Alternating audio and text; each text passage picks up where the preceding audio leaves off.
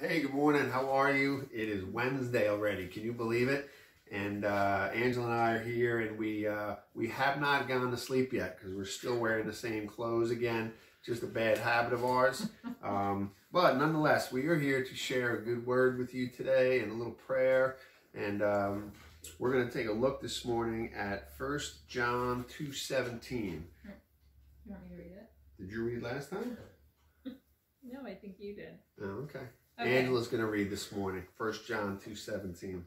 And the world with its lust is passing away, but the one who does God's will remains forever. All right. So again, we're thinking about God's will, and when we talk about God's will, it's what we already know from what He has given us through His Word.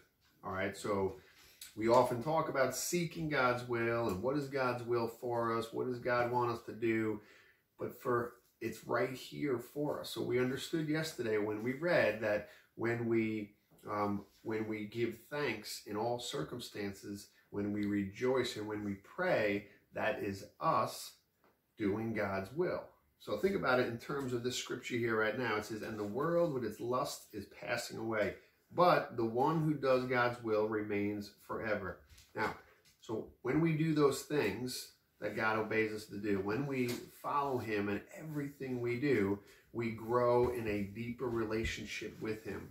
And as we grow in that relationship with Him, we are going to remain with Him forever. That's that eternal salvation that we receive when we accept Jesus Christ as our Lord and Savior.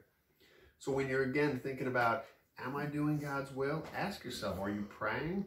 Are you giving thanks in all circumstances? Are you rejoicing because what God has done in your life?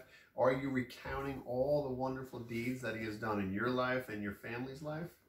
If so, then we continue to do those things and we continue to do them more and more and we grow in Him and then we abide in Him forever. Mm-hmm. So we're going to pray. We hope you pray with us. And you know, when we, we do this, when we do pray, just allow your heart to uh, just be one with God. So we'll just bow our heads and uh, we pray. Lord God, Heavenly Father, we thank you uh, again for your word and your truth.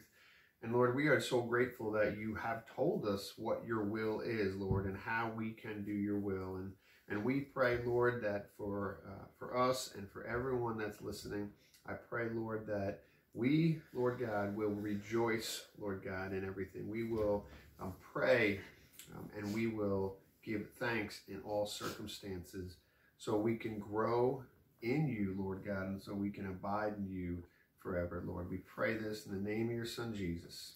Amen. Hey, listen, come on back tomorrow morning. It'll be Thursday, and uh, we might be wearing something different. So see if you can notice.